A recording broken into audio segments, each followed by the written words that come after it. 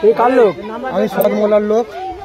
কি করতে এসছো এখন খবরে আমার ভাড়া করে এনেছে পাঁচ হাজার টাকা দেবে বলে। আমার কাছে মেশিন দিয়েছে দানাও দিয়েছে। আমি ওপেন গুলি করেছি। গুলি করার পরে আমার শকত মোল্লা দানা পানা শেষ হয়ে গেছে আমার। দানা পানা শেষ হয়ে গেছে। আমি আইসি আইসকে গুলি করতে বলেছিল আমাকে।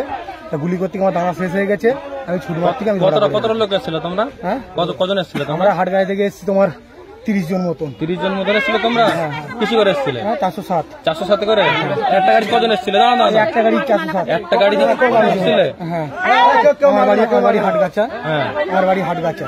একটা গাড়ি তিরিশ জন এসেছিলে হ্যাঁ। আর আর সব লোকগুলো কোথায়? আর সব লোকগুলো আমি গুলি দিয়ে দেবো, আমি মেশিন ফেলে দে আমি মেরেছি। কতটা মেশিন ছিল? তোমাদের কাছে কতটা বোম ছিল? আর কার কত কত ব্যাগের কত সাদা তোমার বড় বড় ব্যাগ ছিল। হ্যাঁ। সাদা ব্যাগ প্রায় পাঁচ সাতটা আমি সামচুকি যেটা দেখেছি। হ্যাঁ। সে প্রায় সাত আটটা ব্যাগ লোড ছিল।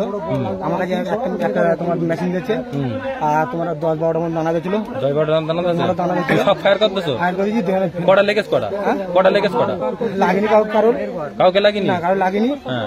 ওই ভিড়ির মধ্যে লেগেছে ওই বুঝতে পারিনি। মানে রানিং চাল- রানিং চালিয়ে চালিয়েছি যেত? রানিং চালিয়ে যেখানে লেগেছে আইএসকে গুলি করতে বলেছিল আমাকে। হ্যাঁ। লাস্টে গুলি শেষ হয়ে ম্যাজিক ছেড়ে ছুটি এই পানা পুকুরের দিকে এই- এই- এইদিকে ঝাড় লোকগুলো আছে, ওদেরকে চালিয়েছো গুলি? হ্যাঁ। না ওই থেকে যারা আসছিল। ওই ওই ভাঙড়ের দিক থেকে যাওয়া যায়। উপরের দিকে। কাটালের দিক দিয়ে? হ্যাঁ। মানে তুমি তুমি- তুমি এই- এই- এই পাটটাই ছেলে? আমি ওই তোমার স্কুল পারে একটু আগে ওই করেছিলাম একটা মেশিন ফেলে দেয় ছুটমার থেকে হ্যাঁ।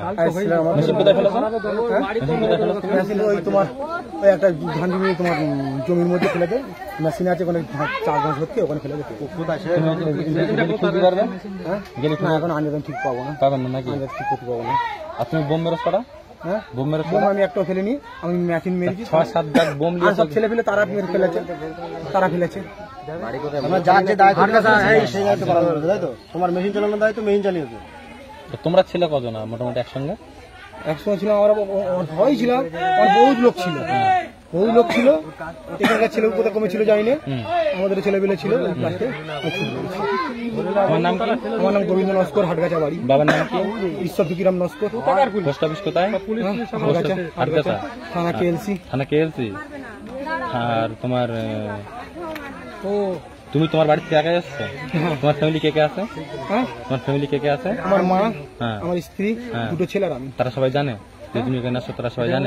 না আমি এসেছি ওরা জানে না। আমি বলছি একটা মিটিং এ যাচ্ছি আমার বাড়িতে শুধু মা- মা এসেছিল ডাক্তারখানায় আমাদের বউ আমার আমার স্ত্রী হচ্ছে আটা ধরে কাজ করে বাবুদের বাড়ি। আর দুটো ছেলে পড়াশোনা করে। চেষ্টা করে দেখছি চেষ্টা।